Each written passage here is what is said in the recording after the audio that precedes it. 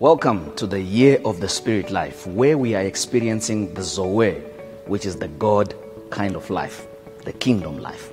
That is why I'm bringing to you kingdom divine messages that are meant to transform your mentality and to transform your mindset for you to be able to live according to God's original plan of dominion and rulership. So grab your Bible, your notebook, and your pen for you to write down the vision that you are going to walk through in this coming year. Be blessed as you watch. Thank you for joining us for another spirit filled message with Prophet Fadzai brought to you by Revelation of Christ Church Worldwide. We bring comfort to God's people through the revelation of the Word and prayer. We hope that this message will be a blessing to you and help you understand the kingdom and enjoy the spirit life.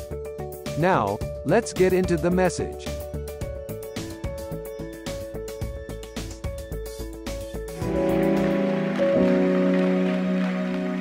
May take your seats in the presence of the Lord. Hallelujah. Good morning, church. Good morning, church. Tell your neighbor and say, Good morning. You are blessed in Jesus' name. You are fruitful in Jesus' name.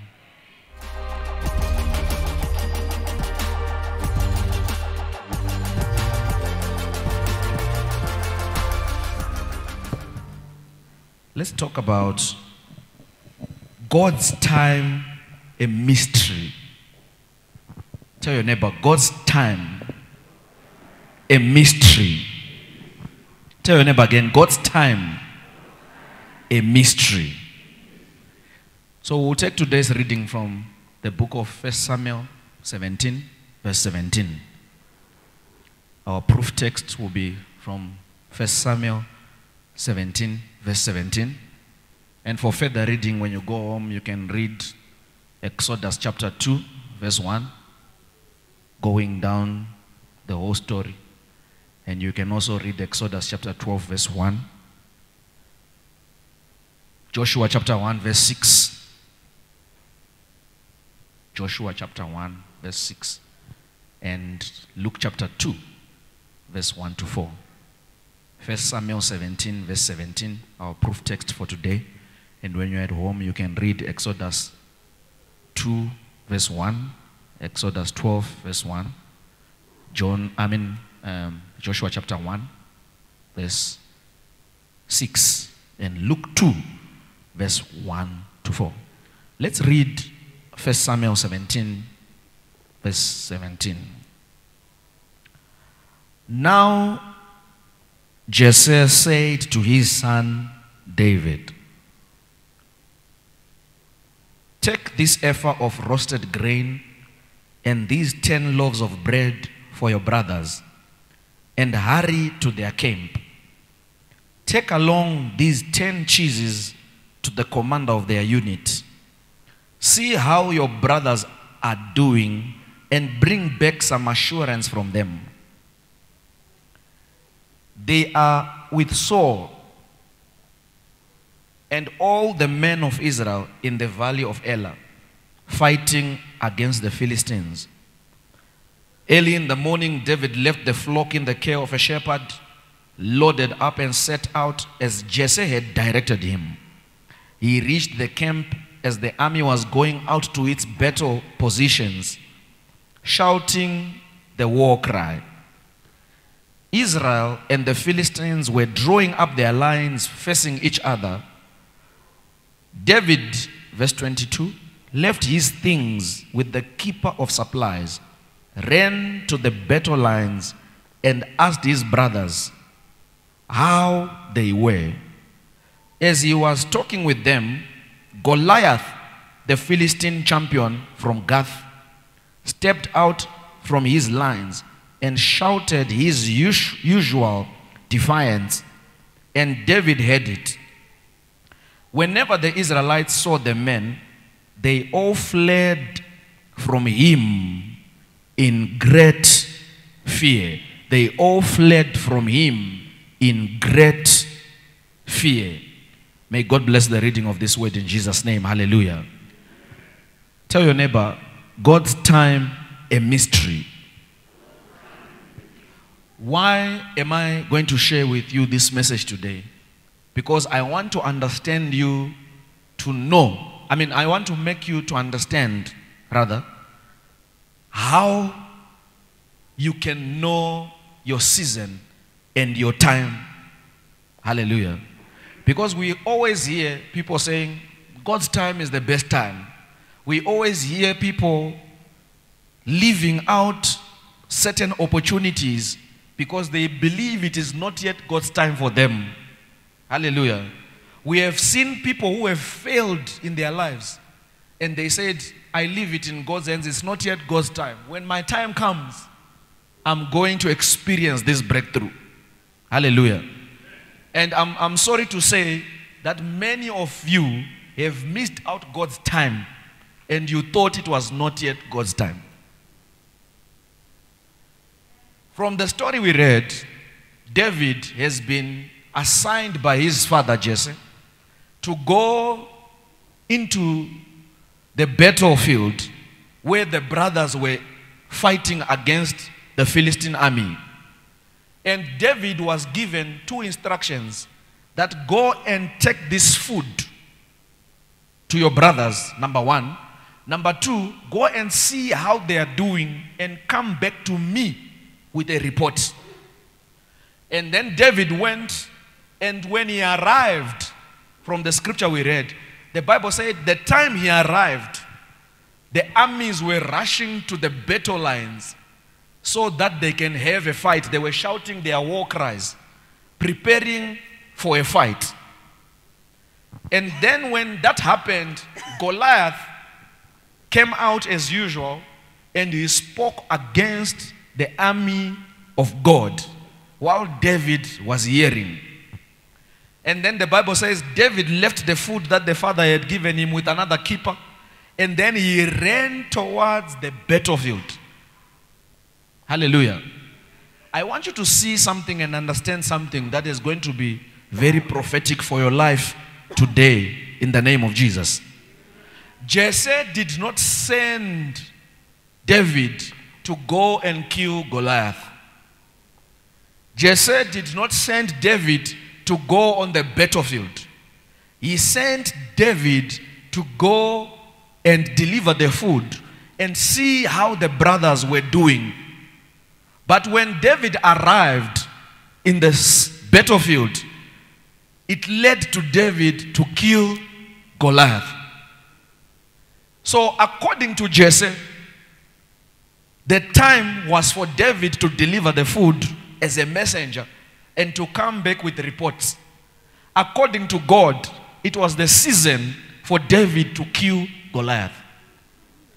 So, David, if he was not getting a revelation of God, he would have entered God's time and deliver food and get information and go back home.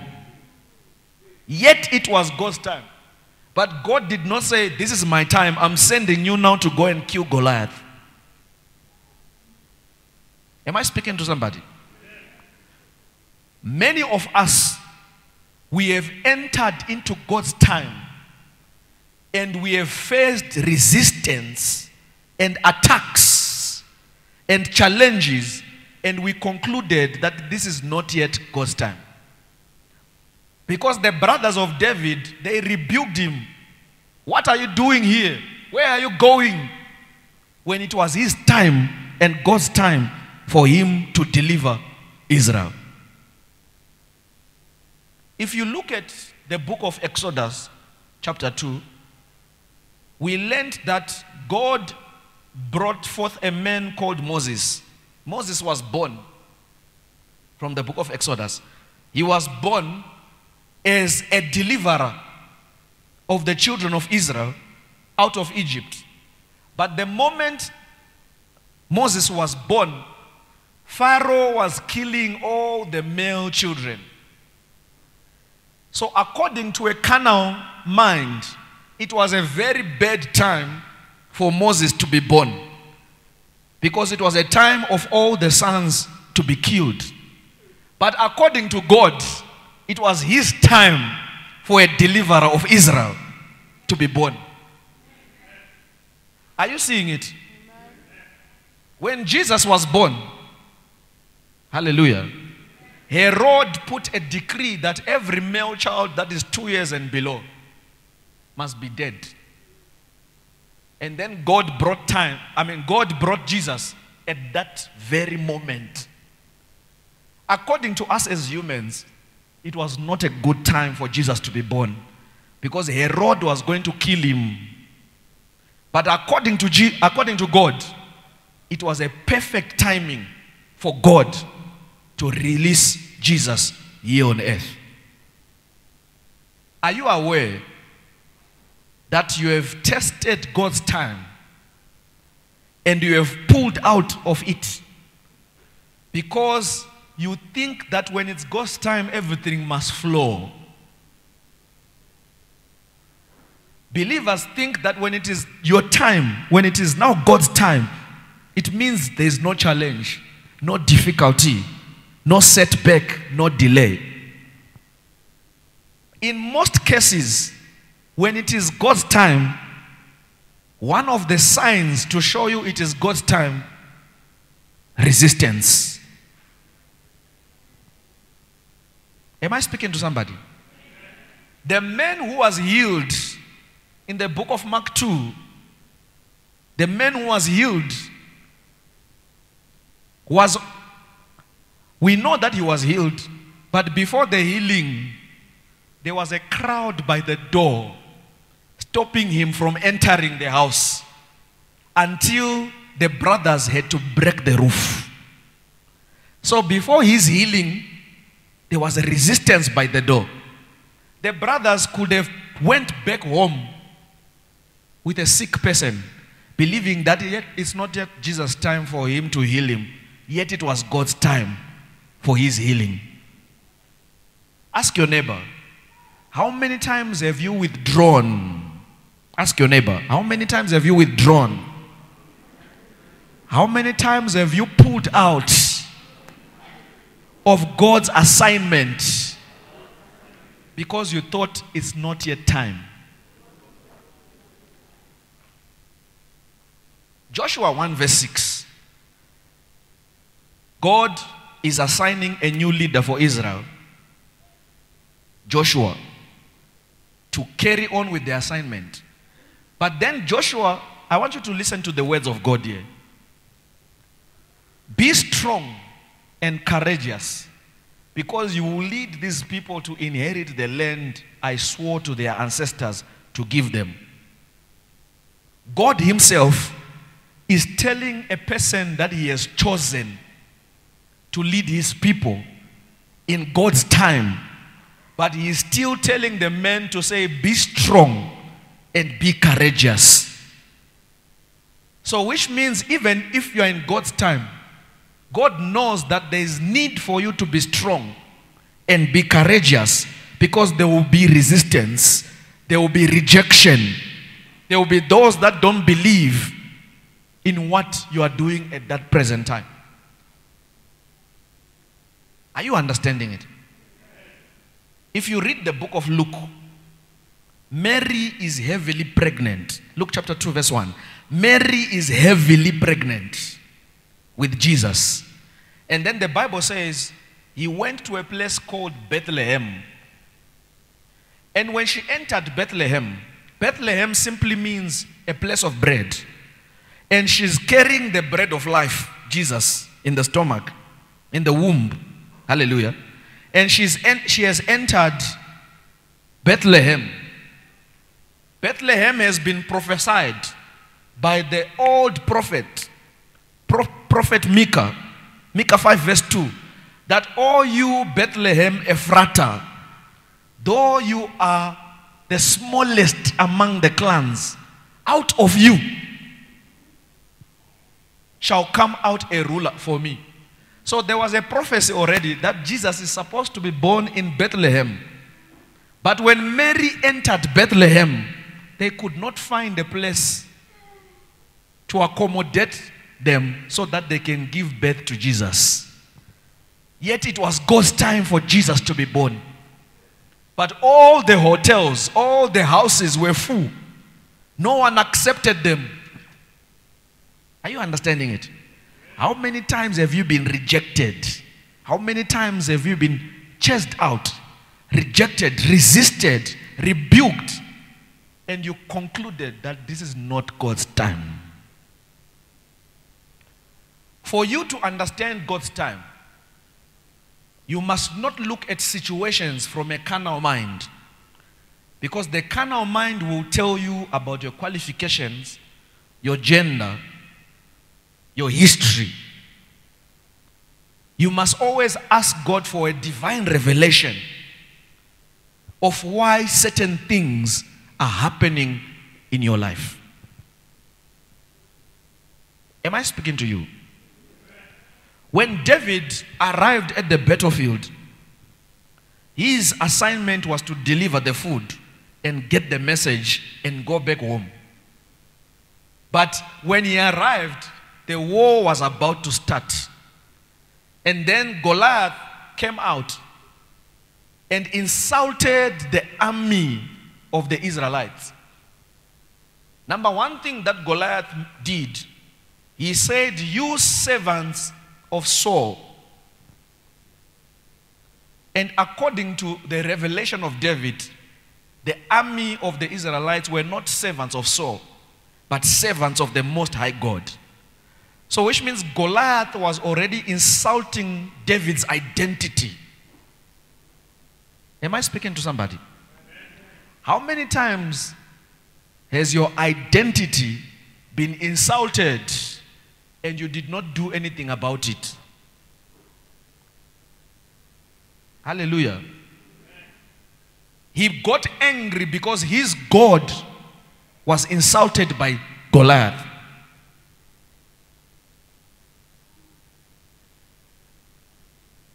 If you are writing, write this down. Very important.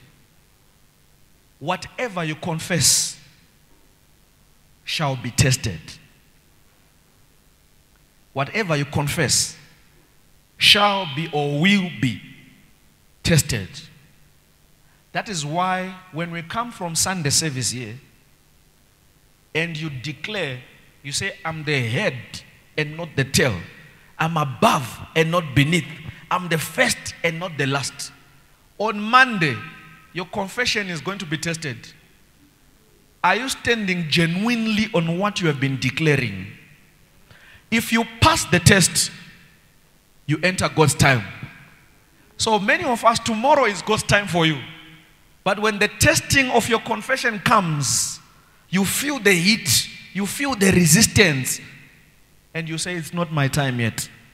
Then you pull back. Am I speaking to you? The Bible says, if you go down with the scripture, it says David went to a river and he picked up five stones. And he took one stone that he used to kill Goliath. I've taught this before that the five stones that David picked up, he did not use all of them to kill the enemy. He only used one of them. And he kept the four stones in his bag. And I explained some time before that the four stones are simply representing the gospel, which is the first books of the New Testament Matthew, Mark, Luke, John. And I was teaching you that the gospel of the Lord Jesus was not the weapon that David needed to throw to Goliath. The gospel was good for David. Hallelujah. That's why he put the gospel in his bag and he took only one stone to use to attack the enemy while empowered by the gospel. Am I speaking to somebody? The gospel in the Bible or the word of God in the Bible is not a threat to the enemy. Let me say it again. The word of God that is just written here inside a book is not a threat to the enemy. It only becomes a threat when it is inside of you and you are living it, confessing it, meditating on it. Then it becomes a weapon to the enemy. That is why you put the Bible under the pillow and the witches still come and beat you at night while the Bible is under the pillow. Because the enemy is not affected by the word that is not manifesting in your life. On the mountain, when Jesus was being tempted, when the devil comes, Jesus would say, It is written. One, two, three. It is written. Jesus did not hold the Bible like this. Did not hold the Bible like this and point it to the devil and say, I rebuke you or I fight you. Hallelujah. Jesus, remember, in the beginning was the Word, and the Word was with the Lord, and the Word was. So, which means Jesus was the living Word, the gospel. So, that's what the devil is afraid of. You becoming the living Word. Not just this book. Hallelujah. So, this book, the Holy Scriptures that are here, if we read them, meditate on them, they become part of us. Then we start living them, doing what the Scripture says, and then we overcome Goliath of our life. We don't throw the five stones. Hallelujah. To Goliath. We don't throw the five stones to Goliath. We throw one stone. One stone, why? Because the four stones have become part of us and they are the supporting structure of the one stone. Anything that you do as a believer that does not have backup of God, it is dangerous for you.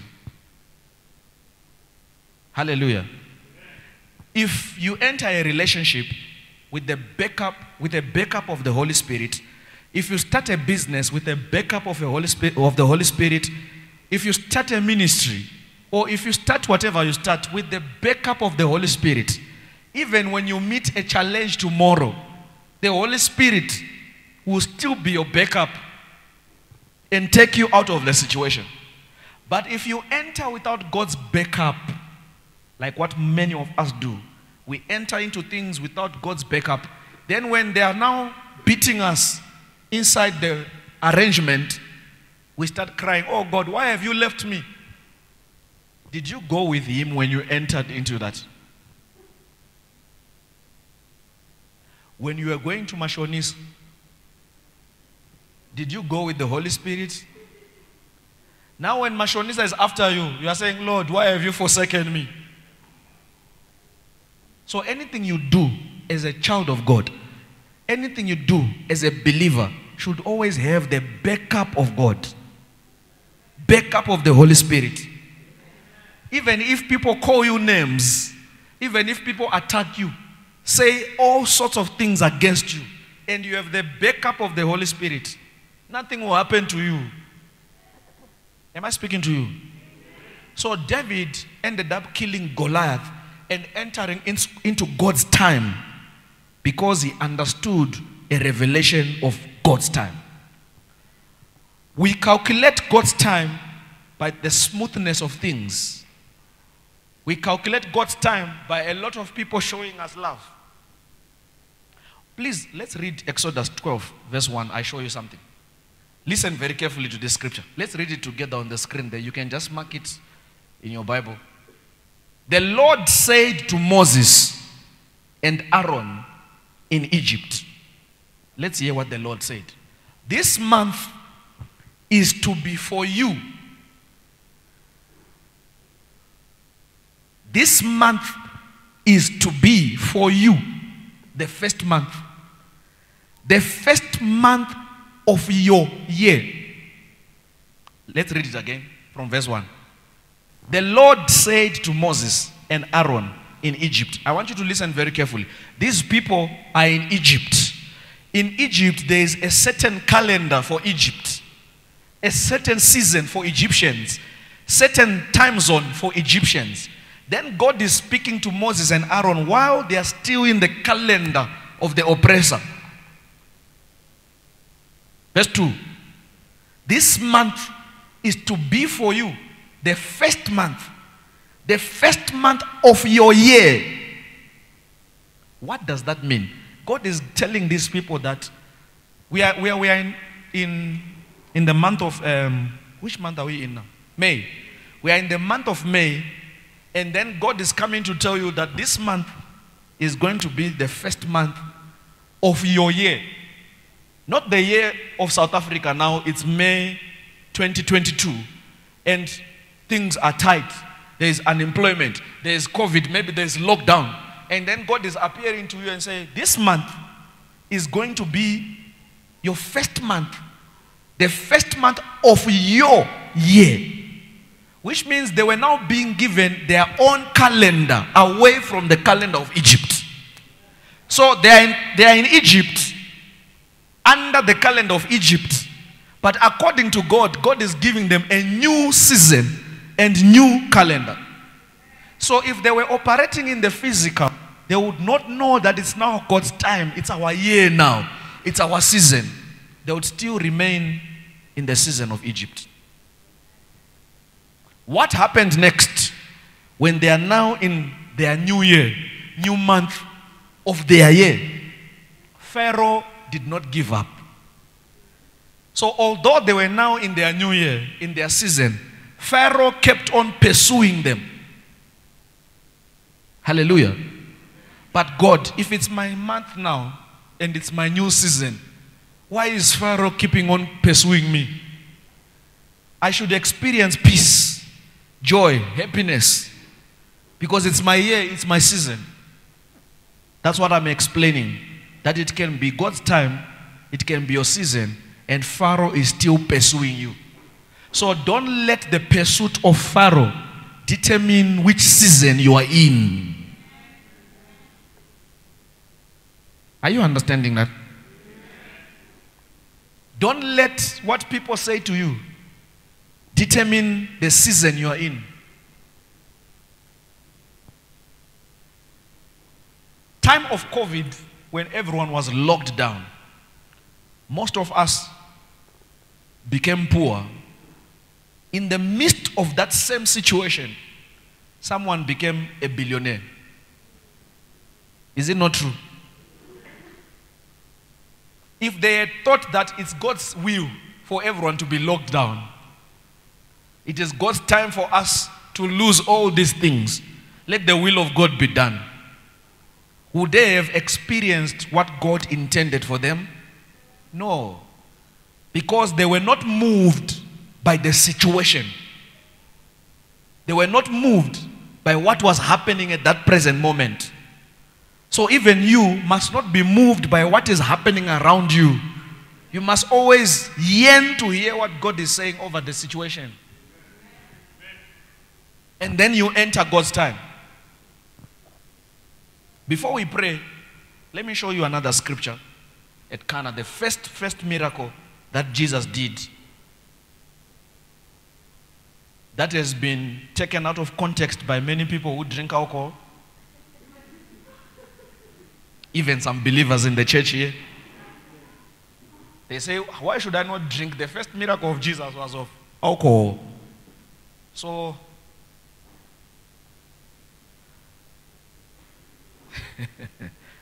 hallelujah. On the third day, a wedding took place in Cana, at Cana in Galilee. Jesus' mother was there. And Jesus said, Jesus and his disciples had also been invited to the wedding. When the wine was gone, or when the wine was finished, Jesus' mother said to him, They have no more wine. Woman, why do you involve me? Jesus replied, If you reply like this to your mother, you are in trouble. Woman, why do you involve me? Jesus replied, My hour has not yet come.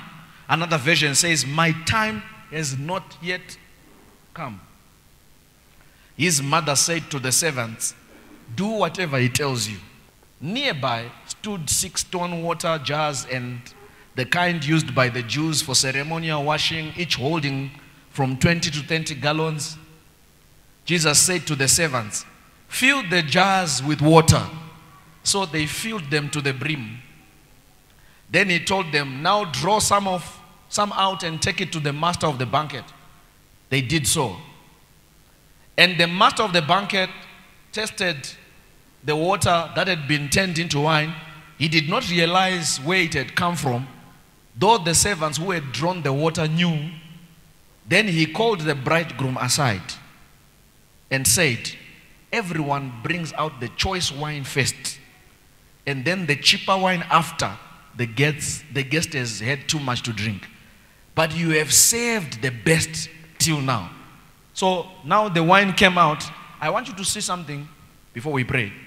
That there was a challenge, there was a problem, that wine was finished. And then the disciples, the mother of Jesus, came to Jesus and told Jesus that the wine is finished. And then Jesus replied and said, Why are you bothering me? Because my time has not yet come. Hallelujah.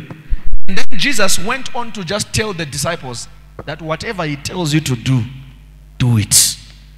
And then when Jesus told them what to do, a miracle happened. God's time happened. But Jesus had said, It's not yet my time. But we are seeing Jesus' time happening. Why? Because there was a secret from Jesus' mother. Whatever he tells you to do, do it. David, wherever Jesse sends you to go, just go and do it.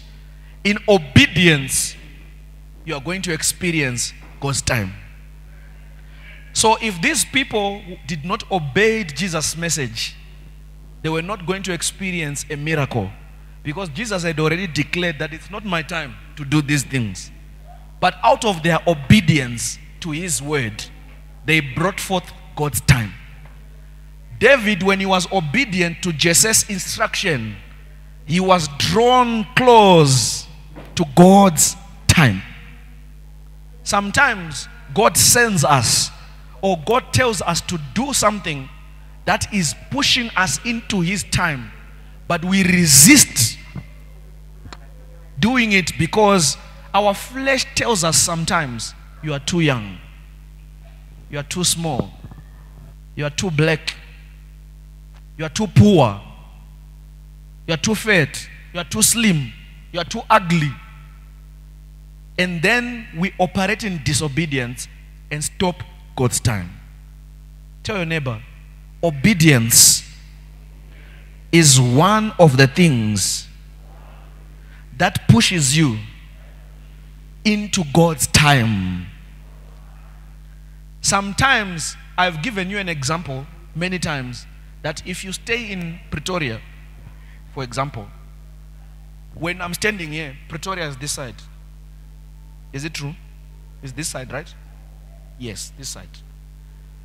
If you put GPS coming out of this place, the GPS will take you this side so that you may off ramp by Allandale there. Sometimes. And then you take the freeway to go to Pretoria. Many of us, the GPS is taking us on the opposite direction. Pretoria is this side, and the GPS is taking you this side. And you are fighting with the GPS that you are taking me to the wrong direction.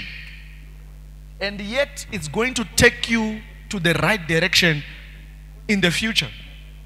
So, we can sometimes switch off the GPS. Hallelujah. Even in our lives, when God is directing us to a certain area, we think that God is taking us astray. Because sometimes, according to the flesh, there's a place you think God is supposed to take you at a certain time. So you switch off your GPS and you start navigating with your mind. And you miss out on God's time.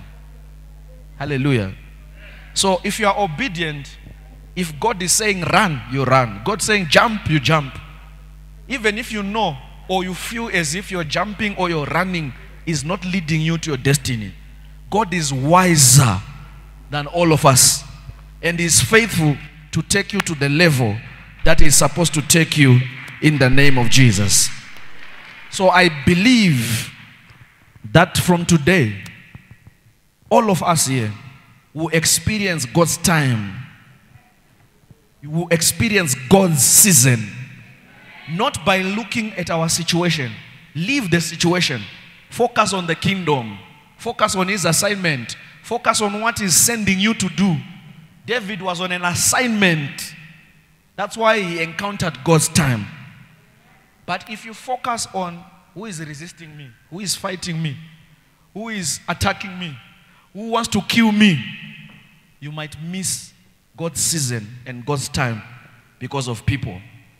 Before we pray, take note of this. The people who resisted David were his own brothers.